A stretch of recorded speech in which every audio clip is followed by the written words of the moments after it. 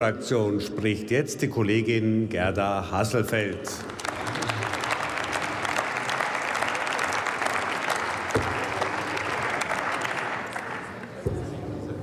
Herr Präsident, liebe Kolleginnen und Kollegen! Bei so mancher Rede heute, gerade auch bei der letzten, wundere ich mich immer wieder, wie man eigene Ergebnisse, eigene Arbeitserfolge einfach so schlecht reden kann und sich von dem, was man gemeinsam in dieser Koalition beschlossen hat, zum Wohl der Menschen distanziert und dann wieder verpuffen lässt. Wir haben erfolgreich regiert.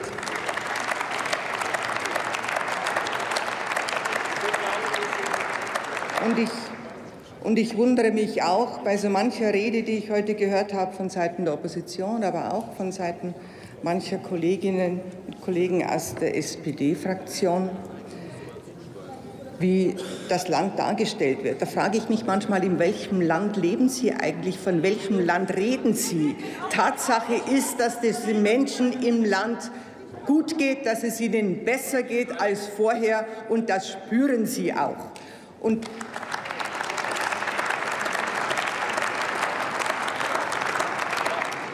Wer das nicht wahrhaben will, der braucht bloß einmal ein bisschen vergleichen die Situation nach der rot-grünen Regierung im Jahr 2005 bei der Übernahme der Regierungsverantwortung durch Angela Merkel und der jetzigen Situation.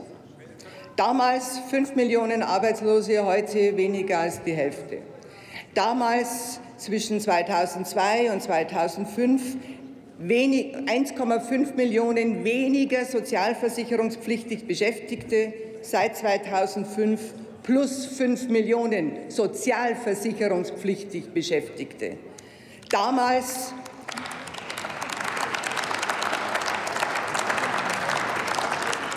Damals viermal in Folge die Maastricht-Kriterien verfehlt, heute während der ganzen Legislaturperiode keine neue Verschuldung. Das ist die Bilanz dieser Regierung im Vergleich zur Bilanz Ihrer Regierung. Dass die Menschen deshalb dass die Menschen deshalb Rot-Grün und Rot-Rot-Grün nicht vertrauen, weil sie dieses noch im Hinterkopf wissen, weil sie noch die Erfahrungen haben von 2005. Das ist meines Erachtens verständlich. Aber machen Sie bitte nicht den Fehler, dass Sie das Land schlecht reden und dass Sie damit den Fleiß der Menschen schlecht reden. Denn dieser Erfolg, der Erfolg der letzten Jahre hängt auch mit dem Fleiß der Menschen im Land zusammen und er hängt zusammen mit einer guten, mit einer guten Regierung in Berlin.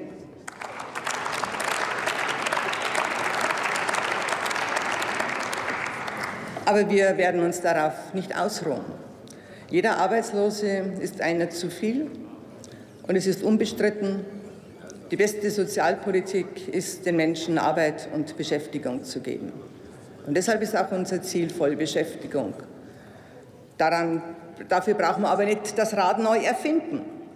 Denn die erfolgreichen Jahre der letzten dieser Periode zeigen ja schon, dass wir richtig gelegen sind mit den Zielen und den Maßnahmen, nämlich solider Haushalt, keine Steuererhöhung, stabile Sozialversicherungsbeiträge, Investitionen zielgerichtet in die Infrastruktur, in Digitalisierung und auch in Bildung und Forschung. Das, meine Damen und Herren, waren die Maßnahmen, die zum Erfolg geführt haben. Und da brauchen wir nichts was Neues machen, sondern da an diesem Kurs festhalten. Das ist das Erste. Dazu kommt aber noch eine zweite große Herausforderung, die wir in diesem Jahr in dieser Legislaturperiode durchaus begonnen haben. Das ist die Antwort auf die Entwicklung in der Arbeitswelt, die Digitalisierung und die Infrastruktur und die Nach das Nachholen in der Infrastruktur im Verkehrsbereich. Und gerade in diesen beiden Sektoren sind in dieser Legislaturperiode Weichen gestellt worden und gerade in diesen beiden Sektoren werden wir auch künftig investieren. Der Finanzminister hat es vorhin angesprochen. 35 Prozent mehr Investitionen in die Verkehrsinfrastruktur, eine Zunahme in die Breitbandinfrastruktur. Und wenn dann gerade von Seiten der Grünen, wie es vorhin von Özdemir gekommen ist, dann auch noch beklagt wird, dass aus dem Verkehrsministerium nicht die richtigen Weichen gestellt wurden, dann, meine Damen und Herren, dann schauen Sie doch mal in die Regionen hinein. Wer blockiert denn vor Ort die Verkehrsprojekte? Das sind nicht wir, das sind in weiten Bereichen die Grünen. Wir haben aber auch noch andere Situationen, wenn es darum geht, die Beschäftigungssituation zu verbessern. Ich nenne hier das Stichwort Automobilindustrie. Ja, das, was da an Manipulationen äh, vorgefallen ist, äh, das äh, hat viel Vertrauen zerstört. Vertrauen in eine wichtige, wenn nicht sogar die wichtigste Branche unserer Wirtschaft. Worum geht es jetzt? Jetzt geht es darum, die Grenzwerte einzuhalten und gleichzeitig aber die Arbeitsplätze von Hunderttausenden von Menschen in der Automobilbranche nicht zu gefährden. Und es geht darum, für 16 Millionen Diesel-Kfz-Besitzer auch diese nicht zu beschädigen. Diese Aufgabe steht vor uns. Umwelt, Arbeitsplätze und Menschen vor Ort, die diese Autos fahren.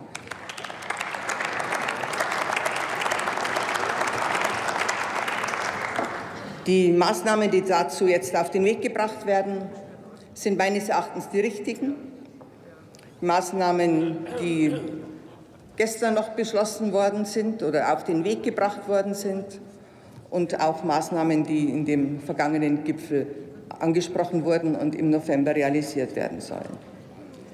Dazu kommt aber noch ein weiteres. Es ist heute vielfach die Rede gewesen von Armut, von ähm, Alterssicherung, von der Situation, wie beschäftigen, wie kommen wir mit den Langzeitarbeitslosen zurecht.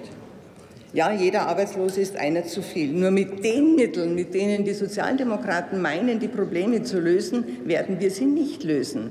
Nämlich mit einem Weiterbildungskonto von äh, 20.000 Euro für jeden oder auch mit der Verlängerung des Arbeitslosengeldbezugs. Meine Damen und Herren, das bringt keinen zusätzlichen, aber auch keinen einzigen zusätzlichen Arbeitsplatz. Es kostet aber, und zwar ganz gewaltig ganz gewaltig.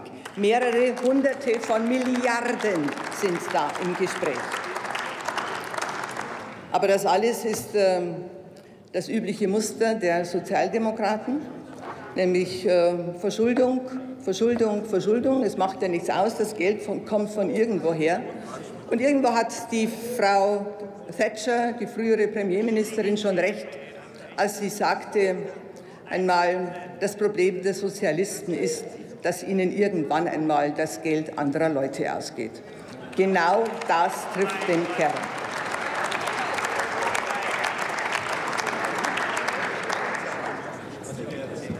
Es wurde vorhin auch mehrfach von der Rentensituation gesprochen.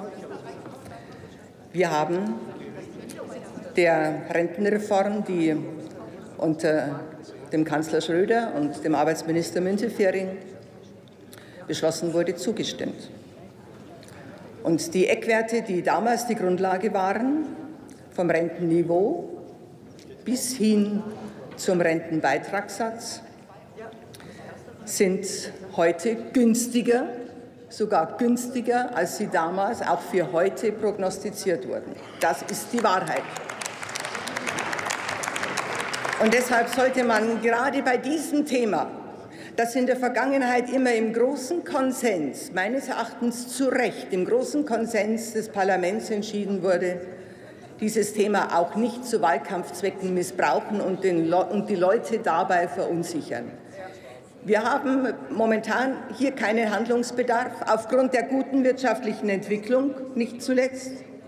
Und das, was wir in künftigen Jahren zu entscheiden haben, das soll in einer Kommission mit Fachleuten und Politikern erarbeitet werden, mit einer Zeit, die man sich dafür nimmt, nicht im Hauruck-Verfahren. Das sind wir der jüngeren Generation, den Beitragszahlern und der älteren Generation schuldig. Denn beides gehört gerade bei der Rentenversicherung beachtet. Lassen Sie mich aber auch zu einem Thema einige Worte verlieren, das heute, wenn ich das richtig verfolgt habe, in der Debatte kaum eine Rolle gespielt hat. Das war die Situation, wie gehen wir denn mit der Steuerbelastung in unserem Land um? Ich habe vorhin davon gesprochen, wir wollen auch künftig den Kurs fortsetzen, keine neuen Schulden, keine Steuererhöhung. Und durch die Solidität der Wirtschafts- und Finanzpolitik der letzten Jahre haben wir jetzt Spielraum, weil die wirtschaftliche Entwicklung auch so gut läuft, dass wir den Steuerpflichtigen auch etwas zurückgeben können. Und deshalb ist es an der Zeit, 27 Jahre nach der Wiedervereinigung den Solidaritätszuschlag abzuschaffen. Und es ist an der Zeit, auch eine Einkommensteuerreform mit einer Entlastung der Einkommensteuerzahler zu machen, und zwar mit einer Entlastung für alle.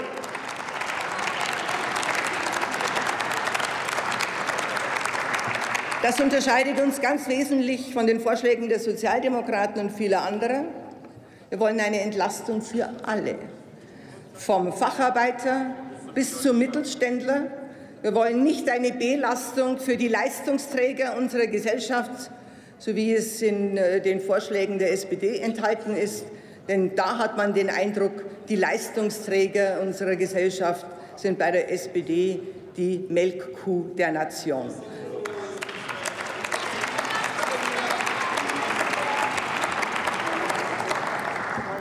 Zur steuerlichen Entlastung gehört aber auch die Entlastung der Familien.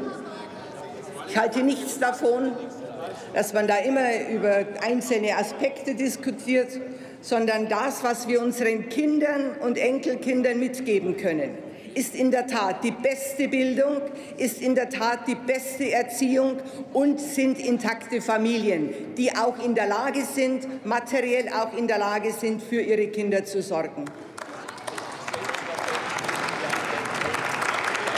Und deshalb ist es auf der einen Seite notwendig, dass wir im Bildungsbereich nicht jetzt nur eine, nicht eine Forderung stellen, an wen auch immer, dass mehr Geld zur Verfügung gestellt werden soll, wie es manche tun im Bereich äh, der, ähm, der Forderung an den Bund, sondern dass jeder seine Verantwortung wahrnimmt an der Stelle, an der er sie hat. Und warum sind in Bayern beispielsweise die Schulen intakt? Warum gibt es in Bayern keine maroden Schulen und diese maroden Schulen in Nordrhein-Westfalen? Warum sind die Stundenausfälle insbesondere, insbesondere äh, in Nordrhein-Westfalen und anderen SPD-regierten Ländern die Verantwortung, der Finanzminister hat es vorhin deutlich gemacht, die Verantwortung gehört zur Kompetenz dazu. Und, das, und da müssen wir immer wieder darauf achten. Das gilt im privaten Bereich genauso wie im öffentlichen Bereich. Und das Zweite.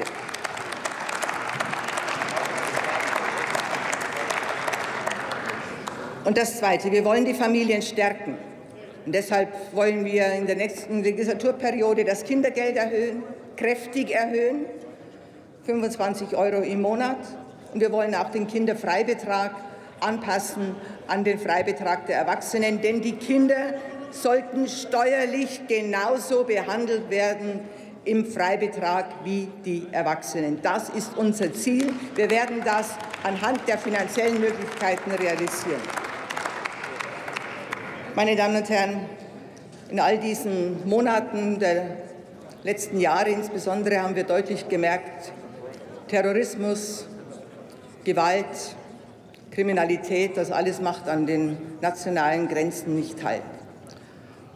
Und wir haben alle miteinander immer wieder bei all den Anschlägen, aber wir erleben es ja fast tagtäglich, erfahren, dass unsere Sicherheitskräfte, unsere Polizeibeamten genauso wie die Soldaten im Ausland und im Inland, aber auch die haupt- und ehrenamtlich Tätigen in den Sicherheitsorganisationen eine ungemein wichtige, aufopferungsvolle Arbeit leisten. Sie verdienen unseren Dank und unsere Anerkennung.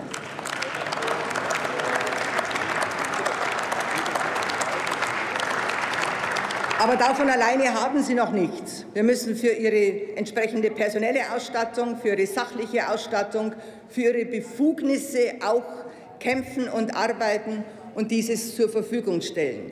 Da geht es um Videoüberwachung, da geht es um Abschiebehaft, da geht es um äh, die elektronische Fußfessel, da geht es um Schleierfahndung Und ich frage mich schon oft, warum in Bayern diese Instrumente gehandhabt werden, angewandt werden und in anderen Bundesländern nicht. Die Sicherheit der Menschen ist in allen Bundesländern gleich viel wert und die Verantwortlichen dort müssen diese Instrumente auch anwenden können. Deshalb habe ich auch kein Verständnis dafür, wenn in Berlin in Bezug auf die Videoüberwachung darum geeiert wird. Und bei all dem, genauso bei der Einbruchskriminalität, haben wir in der Union nie ein Hehl daraus gemacht, dass uns die Sicherheit der Menschen von ganz eminent und großer Bedeutung ist. Das, haben wir, das ist Markenkern unserer Politik. Und deshalb haben wir auch in vielen Verhandlungen, das gehört zur Wahrheit, innerhalb der Koalition hart dafür gekämpft. Und äh, gerade bei der Abschiebehaft von Gefährdern beispielsweise äh, musste es leider den Anschlag am Breitscheidplatz haben, damit die Sozialdemokraten dann auch bereit waren, dieses mitzugehen. Das ist Wahrheit. So. Meine, meine Damen und Herren, meine Damen und Herren, die erfolgreichen Jahre, die erfolgreichen Jahre dieser Legislaturperiode und der Jahre davor,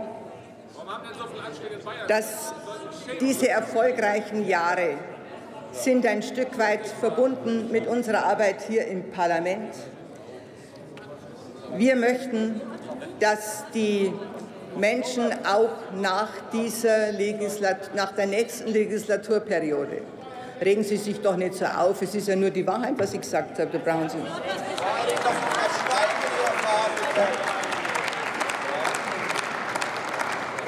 Wir möchten, dass die Menschen nach dieser nächsten Legislaturperiode auch sagen können, ja, es geht uns gut. Wir möchten, dass Sie sagen können, es geht uns besser als vorher, dass Sie auch nach vier Jahren sagen können, wir sind so wie jetzt auch ein Hort der Stabilität und des Wohlstands und darauf sind wir stolz.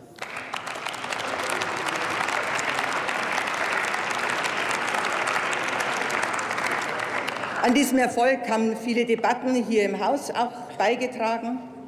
Debatten, die wir heute mit großer Leidenschaft geführt werden.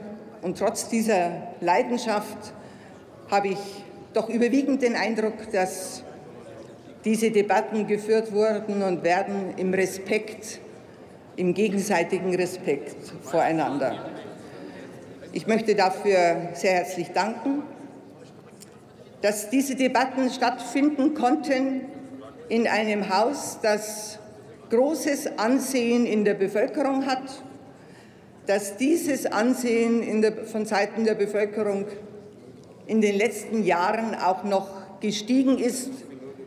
Das haben wir dem Bundestagspräsidenten Norbert Lammert ganz wesentlich zu verdanken. Und deshalb möchte auch ich ihm sehr herzlich für seine Führung des Hauses danken und ihm alles erdenklich Gute wünschen.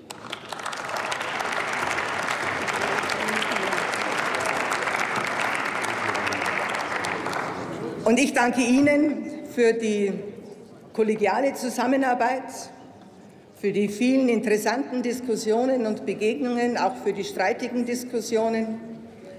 Auch ich empfinde die 30 Jahre, die ich in diesem Parlament mitarbeiten durfte, als großes Geschenk. Ich bin dankbar für die Möglichkeit, meinem Land und den Menschen im Land so lange dienen zu dürfen und wünsche allen, die künftig in diesem Hause arbeiten, eine glückliche Hand und Gottes Segen und denen, die mit mir ausscheiden, auch viele glückliche und gesunde Jahre.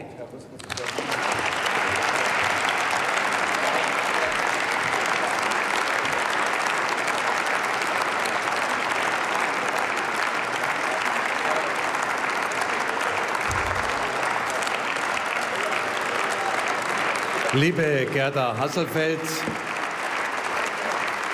das war Ihre letzte Rede nach 30 Jahren Zugehörigkeit.